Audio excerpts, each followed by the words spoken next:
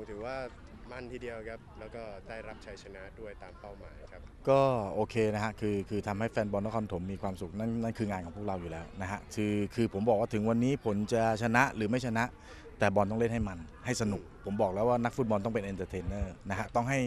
ให้คนที่เขาซื้อตั๋วเข้ามาดูเราเขาสนุก ถึงโอเค วันนี้ก็ก็โชคดีที่ว่าเอ่อเราเก็บ 3 แต้มได้ครับต้องชมสงขลาจริงๆว่า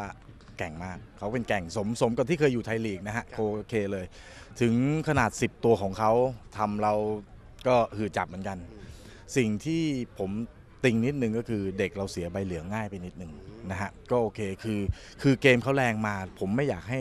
ให้แรงกลับไปครับนะฮะตรงนี้ที่เราจะต้องไปแก้ไขจะต้องไปปรับกับเด็กว่าเฮ้ยคุณต้องคุมอารมณ์มากกว่านี้ เขาแรงมาเพื่อจะโอเคอะอยากจะ เอ่อเป็นวิธีการของฟุตบอลเป็นวิถีของฟุตบอล แต่ว่าเราอย่าไปเข้าทางเขา เราต้องอยู่ในเกมเราครับผม แล้ว 10แมตช์ผ่านไปแล้วครับ ถือว่านครปฐมมีผลงานที่ตามเป้าหมายเลยก็ว่าได้นะครับในการที่จะลุ้นเลื่อนชั้น แล้วก็ถ้ามองลึกๆก็มีโอกาสลุ้นแชมป์อยู่เหมือนกันในตอนนี้ พี่โหน่งมองหลังจาก 10แมตช์นี้เป้าหมายเป็นอย่างไรครับหลังจากทิศทางดี คือคือผมไม่เคยบอกว่าผมจะขึ้นชั้นนะนะถ้าถ้าโอเคอยากขึ้น ถามว่าอยากขึ้นไหมอยากขึ้น แต่ถามว่าบอกว่าเคยขึ้น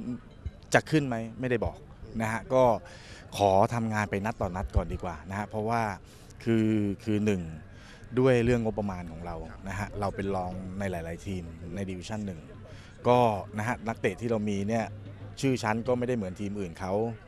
ก็วันนี้เนี่ยเราโชคดีตรงที่ว่าได้พ่อลูกตระกูลวิทย์มามาเปลี่ยนแปลงทำให้เราไปในทิศทางที่มันดีขึ้นครับผม เป็นจุดสำคัญครับครับฝากถึงแฟนบอลครับพี่โหน่งสุดท้ายก็ฝากแฟนบอลนะฮะ สิ่งที่พวกผมทำคือทำเพื่อพวกคุณจริง ๆ เพราะฉะนั้นอยากให้พวกคุณเดินคู่ไปกับเรานะฮะ ถึง